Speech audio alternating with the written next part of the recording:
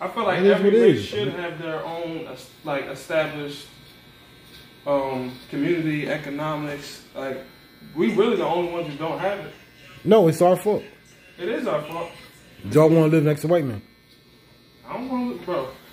I don't want to live next to white people. No, I'm, I'm not saying No, I'm you. I'm talking about us. Like like back in the day, right in the '90s, right? Yeah. You was doing something right. Like if you you got a, a job in a casino, right? This round here, right? Mm-hmm. If you got a job as a dealer in a casino, and you was making fifty five thousand, and you bought a crib in Galloway. Galloway was the move back then, right? Mm-hmm. And Or it, EHT. it- yeah, EHT, and you was driving a Maxima. you got a Or Maxima. The same car of a Lexus. The same car. Yeah, Yep. the Max, Max, a Alex, you was doing it. You was doing your thing, and then people couldn't wait to move out to Galloway. As soon as now, there's a whole bunch of us in Galloway, and then all the white folks want to move out. You know what I mean? And it's like to me that when I was a kid, I was I'm like, damn, that don't tell you something. Like, what's the point of wanting to move around these people? They don't don't. wanna be they don't want to be around us, man. Like it's that keeping up the Joneses mentality. Like, Did, did you watch um that Dr. Claude Anderson on the Breakfast Club?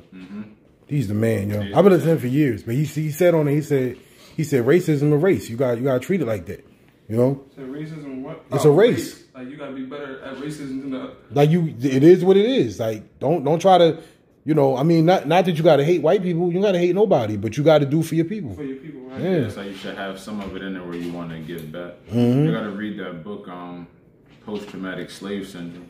Mm-hmm. That's a fire book um, by Dr. Joy. She um she really be breaking stuff down, and it's like at the end of the day, it's like I don't hate no other race. I got friends that's you know white. One of my closest friends, Mexican. All this stuff is like, by the end of the day, you do got to do for your own as well. Yeah, it ain't no We wrong with that. Representation. Ain't no wrong with that. And who better but us? It's like because they ain't nobody really gonna represent But us. it's still outside of that. It's almost like that self-inflicted, like just trauma we have, where it's like I, don't, I can't see another black dude winning. I gotta take him down, mm-hmm. and then I gotta get the approval of like a, a, a white gentleman almost. I gotta get the once they give me that stamp of approval, I know I'm good. Like, Mm-hmm. but it's like, come on, you've been good. It's like you don't need that, but Nah. You don't need that. You don't need to live in nobody else's community. You like really people, don't. yeah. I ain't gonna front. Like when I moved from out of here, I moved because of the school district. You know what I'm saying? But I still got businesses here. You know what I'm saying? I still had property here. Like that's my thing. Like like you know what's funny? Well, I got a friend of mine that's a barber, right? And he had said to me one day, he was like, "Yo, man, I be feeling for you, man, cause um." I don't think I could work over there in Pleasantville, man, on, on Main Street, man. I'm like, what you mean? he was like, man, it's just, it's crazy down there. And I said, I said, bro, you been in my shop though, like, so why do you, why do, what you think? it's like this perception, like Yeah, they just think it's like fucking South Central down here or something. me, um, it was funny. Uh, it was actually a white woman. She was like, "Man, it's, it's crazy down there, right?" And in my head, I'm like, "That's crazy." It's like everywhere else. Mm-hmm. It ain't really that deep. Like, like people think you walk outside right now, you get shot. Like that can happen anywhere. They can't, yeah. Granted, it a really lot ain't of our like stuff that. gets like blown out of proportion, and that they only show the negative, so was about to say it that. overshadows all the great things that are happening, especially like here at the shop.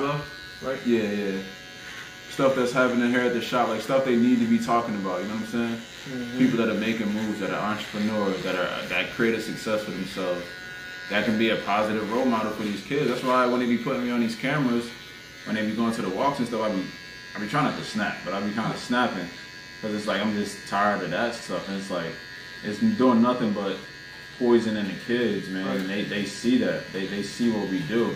And if they only see the negative stuff, they don't feel like they can do anything. They don't feel like they can make anything out of themselves. And it's just like, Or, or, or, or you, you, you grow up having some kind of like, like harsh feelings towards your own people because you look Oh at my that. gosh. I hate that. Like you know what would kill me when, when people be like, "Oh man, you know, you go you go to Pleasantville, you go to Lang City, it's like a bunch of zombies walking down the street."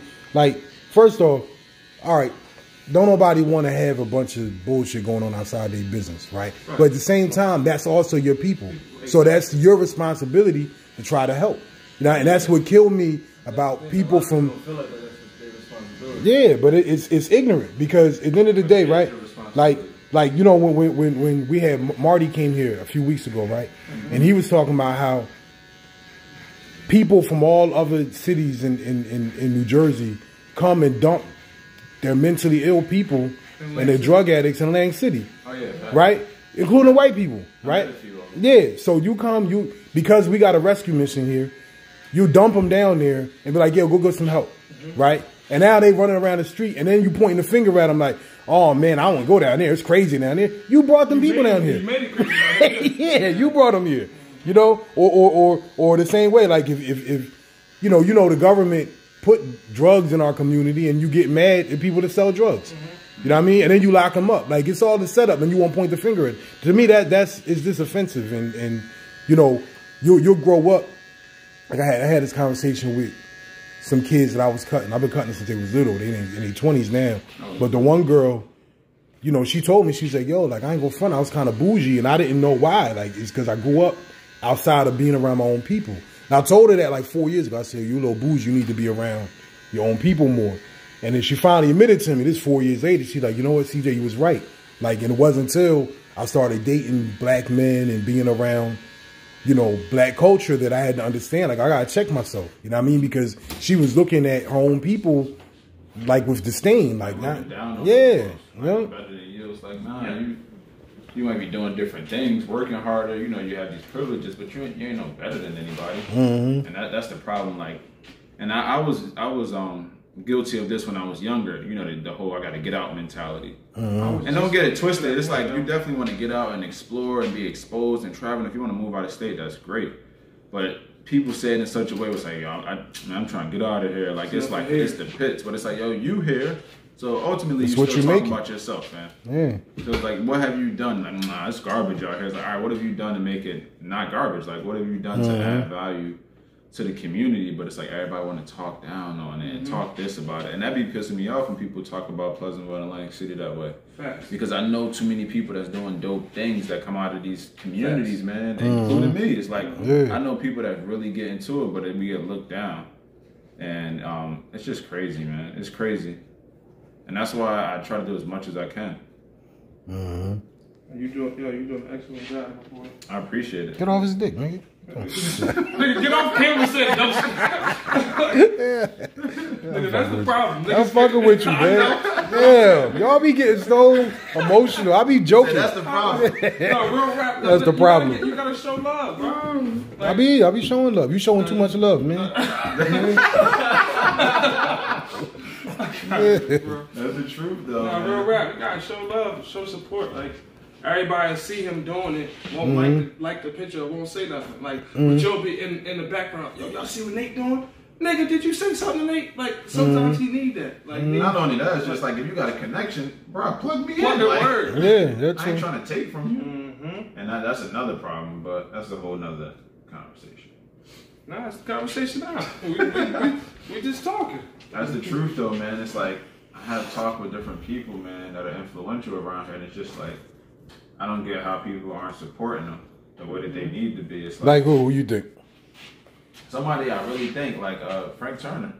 Yeah. What Frank doing? Frank does a lot, man. He's trying to do a lot more, like especially when he's home, not balling overseas. Obviously, he has his brand and everything like that.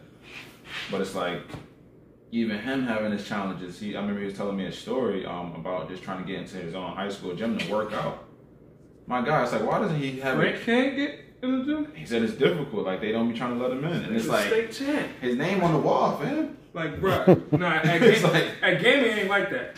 Gaming, Um, you had to this- just say this what I'm you saying, though, right like- now. And those two places, like Pleasantville, Lance, it's difficult, man. It's like even with me trying to get into the schools at Pleasantville, it's like we got to go through the ringer, man. Yeah. And I get it, the states there, things like that. But you know me. You, I grew up here. Mm-hmm. I went here. You you know my track record. I'm solid. Like, Nah, that's that's that politics, man. and it's like it shouldn't take all of that to just get me in the door to talk to 20 kids. You know what I'm saying? It shouldn't take all of that. Mm-hmm. And it's like that's really what it'd be taking. I'm just like, man, it's crazy. And it's like you've seen the impact that we have when we're there. Why not bring us in? Why bring somebody else from outside of this community? Pay them money so they can get the money, not effective with the students, and then leave and never even go down Main Street, but just jump on the expressway and go back home. That's what blows my mind. You got people coming in that that's never seen where these kids live, don't really know about their life, but judge them. Mm-hmm. And to me, that's bugged out, man. It- It's, it's, it's bugged out. Facts. And they do that, and they just get up and leave, and it's just like you wonder why the kids aren't aren't paying attention. You wonder why the, the test scores are low. You got people in there that they just can't relate to, Mm-hmm. and they're not trying to relate to them either. They're just trying to get their check, dip out, and then the kids ultimately are the ones losing because then it's time for them to go to school. They don't have the grades. They don't know how to do the process. They don't understand clearinghouse. They don't understand all these different things, and you pretty much screwed them over. So.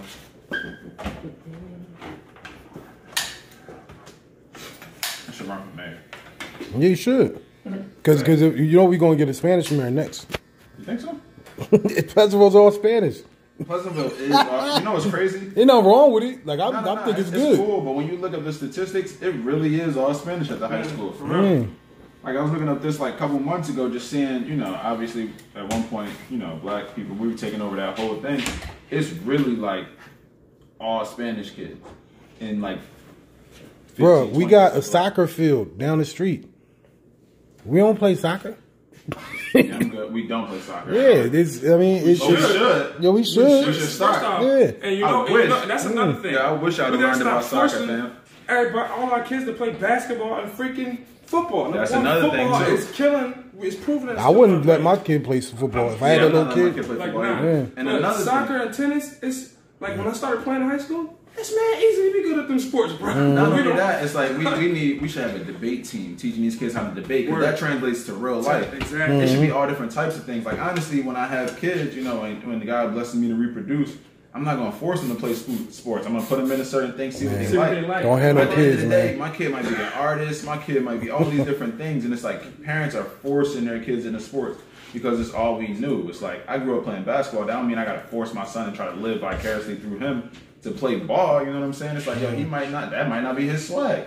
He might be dope at something else though that I just I'm not good at. And it's like you gotta support that, and you gotta get them around the right people and resources that they mm-hmm. can flourish in that. But I've seen it too many times, man. When I was coaching at Pleasantville, like parents trying to force their kids to play ball and force them to do this, and they hate it. And they start resenting the parents, like, yo, I can't, I'm just trying to go to school so I can get the heck out of here. To get away from them because they drive me crazy. And that's that's a lot of kids' reality, man. It's like, yo, there's so much more out here than sports.